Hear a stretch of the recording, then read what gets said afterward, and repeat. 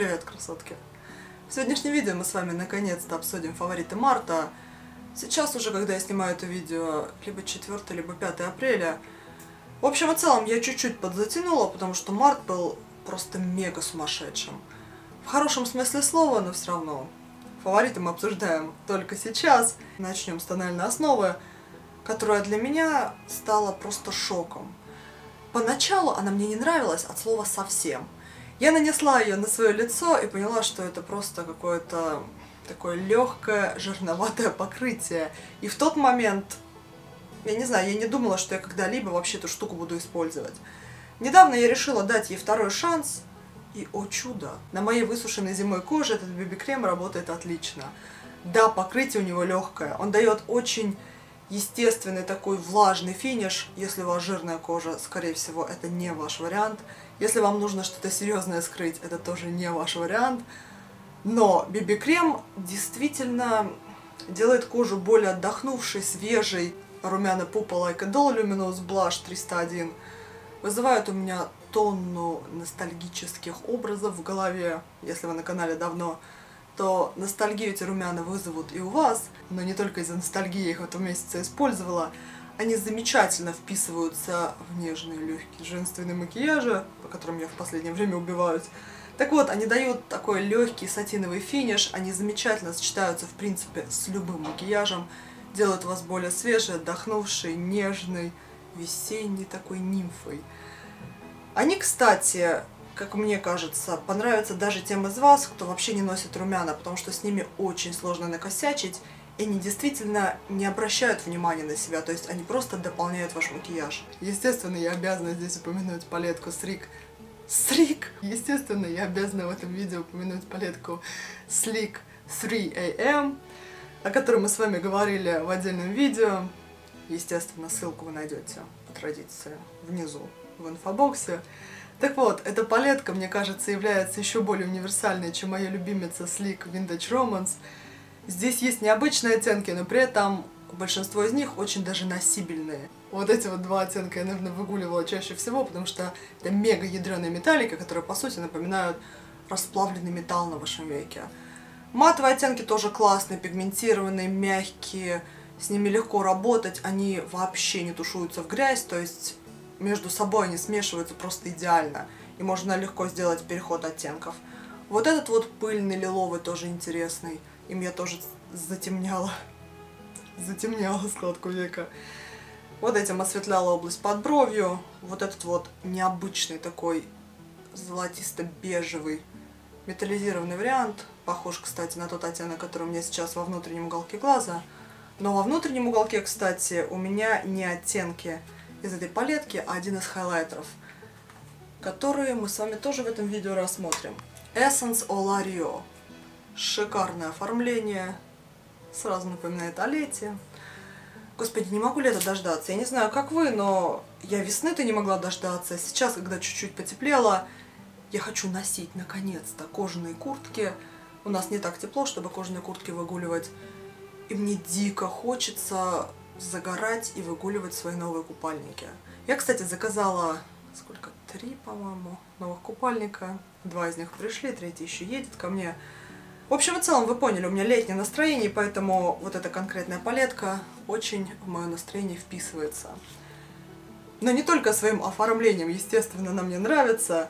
Я уже в видео говорила в отдельном, что по моему субъективному мнению, опять же, это самые лучшие качественные тени, которые Essence когда-либо выпускали. Они шелковистые, они мягкие, они пигментированные, они стойкие, они не тушуются в грязь, они не становятся более блеклыми с течением времени. И мне кажется, они приближаются по своему качеству теперь к теням слик. В особенности это касается вот этих вот металликов. Но они выглядят навеки еще более гладкими даже, чем тени слик. То есть они не подчеркивают складочки на вашей коже. Называется Wet n Wild Comfort Zone. Я не думаю, что вообще в мире существует бьюти-маньяк, которому не знакома эта палетка. Они до сих пор ее продают как раз по той причине, что действительно это охренительная вещь. Здесь множество универсальных повседневных оттенков. Сейчас на моем подвижном веке вот эта вот вещь находится. Сияние такое сдержанное, но мне оно очень нравится вот в этом макияже конкретном. То есть я не хотела наносить на подвижное веко какой-нибудь ядреный металлик. Также я люблю вот этот вот оттенок носить на подвижном веке. Вот этот часто носила. Опять же, в этом месяце я носила тонну розовых макияжей, что на меня вообще не похоже. И эта палетка как раз по этой причине для меня была актуальна. Вот этот вот зеленый тоже весной, мне кажется, многим может быть интересен. Он такой теплый, цвет свежей травы, цвет новой жизни, даже скажем так.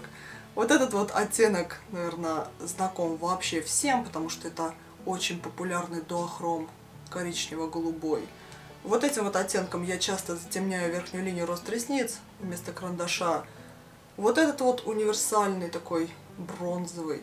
Эстрада диско, сияющий гель, многофункциональный. И оттенок мой... Какой оттенок? Тон 83. Такой, девчонки, эту вещь, по идее, наверное, по крайней мере, я видела, как другие люди это делают, по идее, можно наносить на губы и использовать как хайлайтер, но мне в таком виде этот продукт вообще не нравится. Как хайлайтер выглядит как-то плешиво, неравномерно, сложно растушевать. На губах выглядит как такая сухая, светлая матовая помада. Ну, такое, да, на любителя. Но в роли теней, точнее в роли топера на тенях, работает идеально. Я носила большую часть месяца, опять же, такие сдержанные, нежные. Мне кажется, я уже достала вас своими эпитетами, типа сдержанные, нежные, женственные, летящие, освежающие. Но именно такие макияжи я носила, я не знаю, как еще их назвать. Так вот, в своем макияже глаз, как топер, для разнообразия, скажем так, я использовала именно вот этот оттенок. Это такой призматический зеленый, наверное, я бы даже сказала зелено-голубой, что ли, то есть это не истинно зеленый. Очень интересная вещь, действительно делает макияж более глубоким и более интересным, легко наносится, долго держится. Кстати, в роли жидких теней эта штуковина работает нормально и вообще не плешивит, то есть растушевать это просто на раз-два. Кстати, Эстрада это такой довольно-таки бюджетный бренд. Я покупала эту штуковину в Питере рублей за 200 максимум. Та-дам! Хайлайтеры от Revolution Pro. Оттенок Rose Gold, насколько я понимаю, в линейке есть и другие варианты. Эта вещь с моего лица вообще не сходила. Именно вот этот вот хайлайтер вы сейчас видите у меня на скулах, на спинке носа, вот здесь вот. Я не могу перестать его носить. Я не знаю, что в нем такого, что заставляет меня его так неистово любить, но вот этот вот хайлайтер, девчонки, вот, вот, ну просто, это, это must have. Для меня это must have. Опять же, это хайлайтер не для каждого по той причине, что он очень сияющий, он действительно мега влажный. Ваша кожа с ним выглядит так, как у моделей на фэшн-съемках после фотошопа. Я не знаю, как это еще объяснить, то есть вы очень сильно сияете. Я не знаю, передает ли камера это сияние, но оно интенсивное, но при этом там нет никаких ядреных заметных блесток. Как я люблю говорить, Дженнифер Лопес на креке. Вы понимаете, что я имею в виду? Эта вещь просто не дает мне покоя. Я каждый раз пытаюсь себя заставить что-то еще из своей коллекции использовать, потому что, ну, носить один и тот же хайлайтер, это вообще на меня не похоже, но я не могу, я не могу. Это любовь. Кстати, он же сейчас у меня во внутреннем уголке глаза нанесен. Остальные тоже интересные. Вот этот вот такой более розоватый, похож на Goddess of Love от Makeup Revolution. Вот этот вот мега светлый, для белоснежек подойдет. И вот этот более персиковый такой, я бы сказала, для мулаток, либо для загорелых девушек ну, либо как блаш-топпер сработает хорошо. Текстура здесь очень шелковистая, все хайлайтеры как масло, они легко набираются, наносятся. Весь март я пыталась свои ногти привести в нормальное состояние. Они ломались, отваливались, слоились, мне приходилось их спиливать неровно. В общем и целом это был дикий ужас. Я носила нюды, либо я потом уже не носила ничего, потому что я сдалась и подумала, все, давайте отрастайте, когда будете нормально выглядеть, вот тогда я и попытаюсь с вами что-то сотворить. Но потом в какой-то из дней я подумала, черт побери, что я теряю, у меня же есть полупрозрачный лак Эль Куразон, как ты называешься, 423 57 джелы. Может быть, мне попробовать его нанести, именно он сейчас на мне, и пока мои ногти в нормальное состояние не придут, я планирую только им ногти красить. Я не знаю, что в нем такого, это просто такой лак невесты. Но опять же, сейчас с моим весенним, легким, летящим, женственным настроением он сочетается просто идеально. Если вас до сих пор еще не посетили мысли а «Господи, куда же делать Джилл? Что это вообще за лимонное платье? Где черные шмотки? Где вообще мрачные макияжи? Где вампирские макияжи вообще? Что произошло?» Если до сих пор вас такая мысль не посетила, то сейчас, мне кажется, от нее будет сложно удержаться. Потому что в этом месяце мои фавориты среди косметики для губ выглядят вот таким вот образом. Вот просто посмотрите на эти оттенки. Это вообще на меня похоже? Нет, не то чтобы я никогда не любила нюды, но просто такое количество нюдов и розовых оттенков.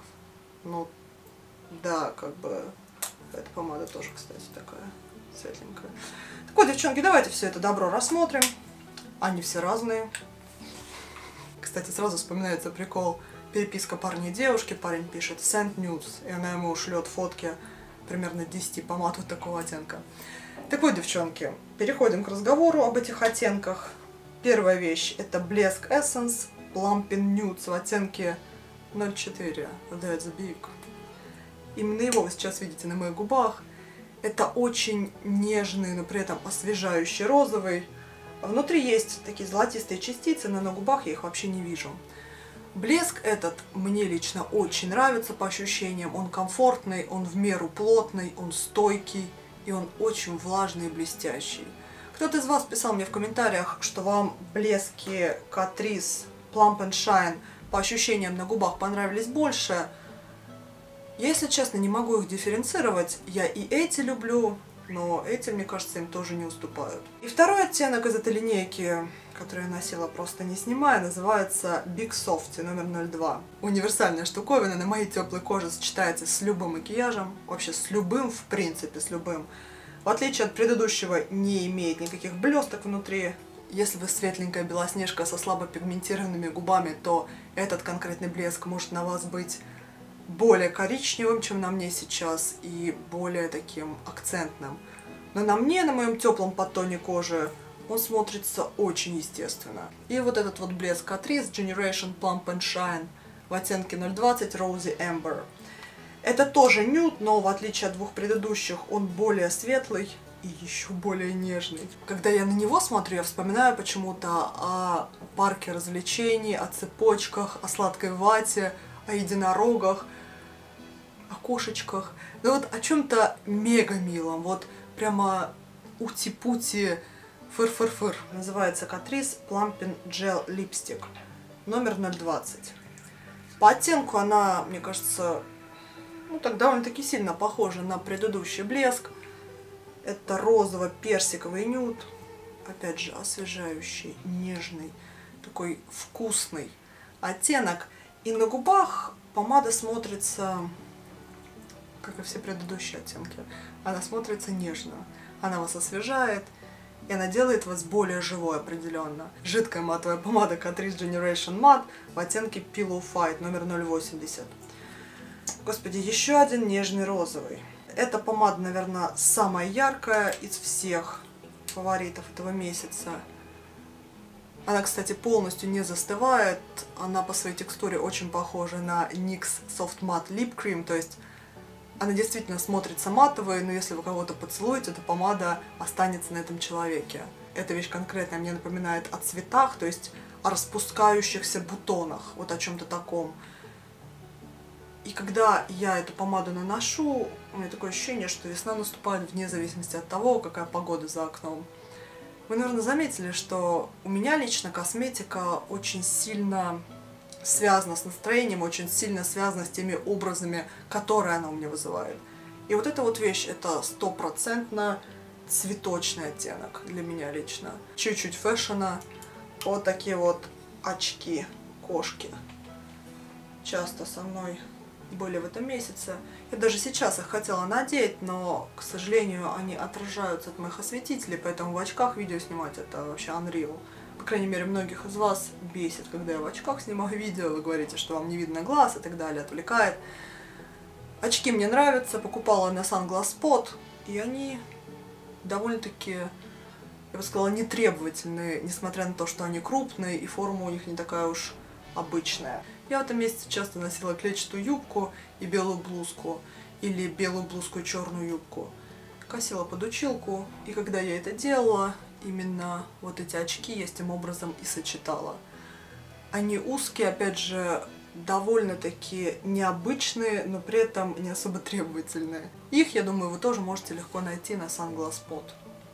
Мне очень нравится вот эта вот острая часть. Каждый день мечтаю о том, чтобы вернуться на болото Велена, убить там пару десятков утопцев, найти и убить кладбищенскую бабу, виверну, еще кого-нибудь убить. И все это сделать своим серебряным мечом. Поэтому серебряный меч всегда ношу с собой. Девчонки, эту штуковину я заказывала на eBay, по-моему. Ссылки прямой не найду, к сожалению. Но если вы загуглите что-то типа Sword, ну да, наверное, по этому запросу я и нашла эту подвеску, то, скорее всего, вы что-то подобное найдете. Девчонки, мне лет, наверное, 15 подряд, минимум огромное количество знакомых пыталась посоветовать эту группу, то есть они говорили, что мне обязательно понравится, я обязана Type Negative послушать. Я послушала, послушала пару треков, но, видимо, либо я не те треки выбрала, может быть, я что-то слушала со старых альбомов. В общем и целом, меня тогда не зацепило. Но сейчас, три недели назад, я посмотрела клип My Girlfriend's Girlfriend. Скажем так, привлеклась в первую очередь внешностью вокалиста. Потом послушала пару их самых знаменитых альбомов. И теперь я просто true фанат. Я пересмотрела, наверное, все интервью Питера Стила, которые я нашла в интернете. Я переслушала все их альбомы. Не могу сказать, что все они мне нравятся. Но October Rust и Bloody Kisses это, это нечто. У меня есть просто целый список теперь мега любимых песен, под которые я бегаю, под которые я засыпаю, которые просто заставляют меня себя чувствовать еще более живой, чем обычно, которые заставляют мое сердце теплеть, учащать ритм и просто расцветать. Я не знаю, как вам еще описать эти эмоции, но если вы когда-либо находили какую-то группу, которая действительно созвучна вам в данный момент, вы понимаете, о чем я говорю. И удивительно, кстати, то, что у меня настроение от них повышается, хотя музыка довольно-таки депрессивная. Кстати, Type Negative, они вообще основатели, насколько я понимаю, жанра готик метал. А вы знакомы с творчеством этой группы? Расскажите мне, пожалуйста, об этом внизу в комментариях. И также буду очень рада, если вы по традиции расскажете о ваших фаворитах и открытиях этого месяца. Спасибо огромное за просмотр. Всем отличного весеннего цветущего настроения. Улыбайтесь чаще и до скорых встреч. Пока.